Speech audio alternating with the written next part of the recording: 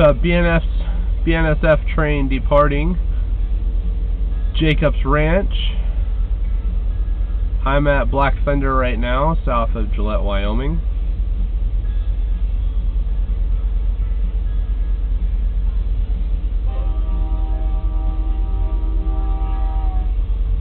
Trains from here either head south to Guernsey or north to Donkey Creek where it will be taken to Edgemont, South Dakota. From there it will head east. If it goes to Guernsey, from there it will also head east.